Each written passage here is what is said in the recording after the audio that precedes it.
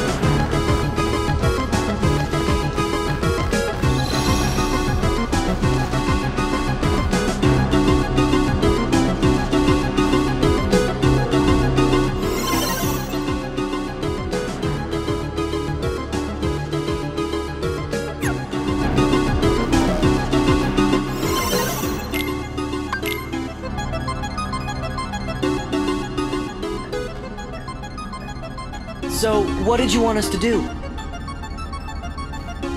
Find my user. He'll give you the password to access the DTD. You bet! So, um... DTD is the name my user gave to the data space. Copies of all the original system programs are stored there, along with anything that's sensitive or restricted. Is there stuff about the Heartless or Organization 13? Hmm, most likely.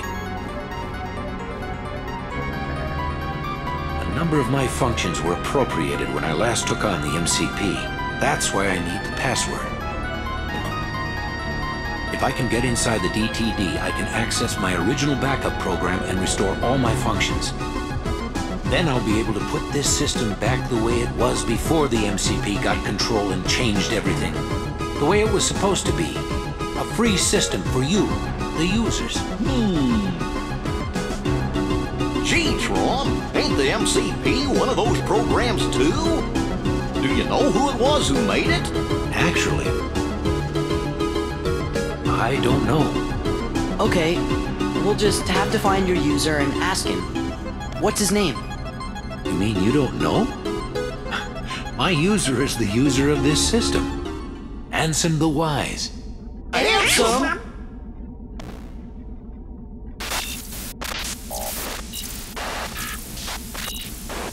Looks like the MCP's onto us. I'll keep this terminal up and running. You better exit the system now.